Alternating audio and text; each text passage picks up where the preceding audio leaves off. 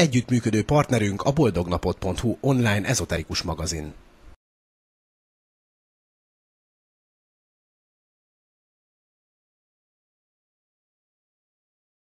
Miguel, you ask an interesting question about the future of civilization itself. Nikolai Kardashev, a, a Soviet uh, astrophysicist in the 1960s, was frustrated trying to analyze signals from intelligent life in outer space. What are we looking for? So he began to rank civilizations on a scale of type 1, type 2, type 3. A type 1 civilization is truly planetary.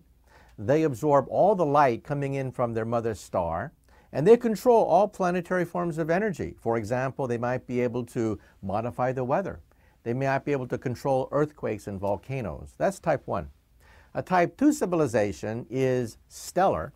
They control the entire energy output of a star. Type 3 is galactic. They control the energy output of the entire galaxy. Now, to put things into perspective, Flash Gordon or Buck Rogers would be, would be living in a type 1 civilization where they control all forms of planetary energy. They can simply rocket anywhere on the planet Earth at ease. Type 2 might be Star Trek.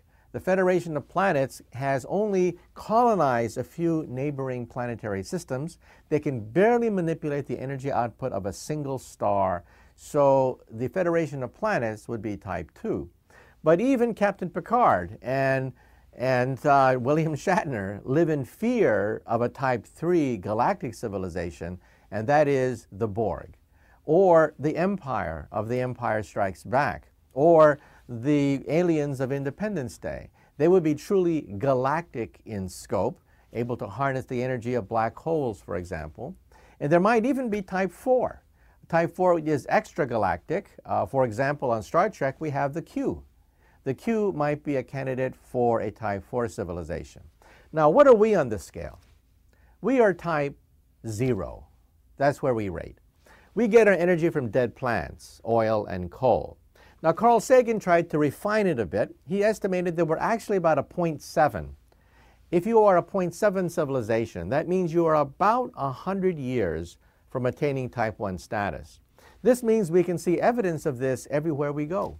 The internet is the beginning of a type 1 telephone system. We're privileged to be alive to witness the beginning of a telephone system of the next 100 years.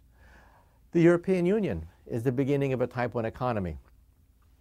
Why do we even have the European Union? Of course, these countries hate each other. They've been warring with each other for thousands of years, ever since the ice melted in Europe. Why are these countries, these mortal enemies, ganging together to form the European Union?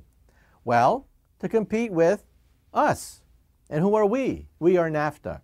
So we're seeing the beginning of gigantic global trading blocks. English will probably be the planetary language. You can go anywhere on the planet Earth. And the educated already speak English, they are bilingual. And on the internet, the number one language on the internet is English, followed by Mandarin. We're seeing the beginning of a planetary culture.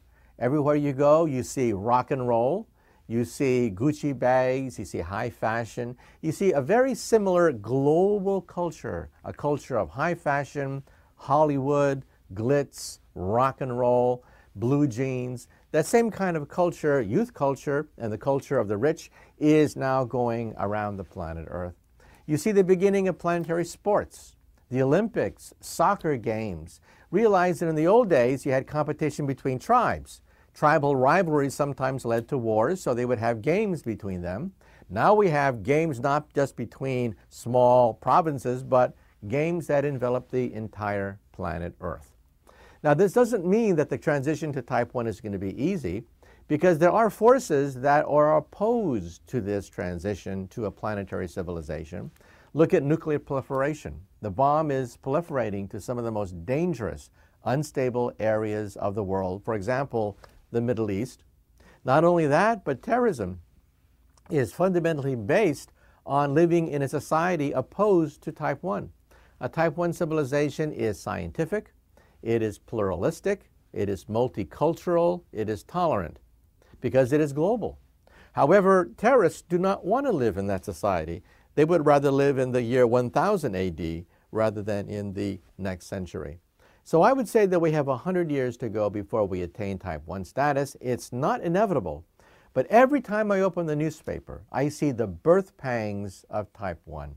Every single headline points to the birth pangs of a type 1 civilization.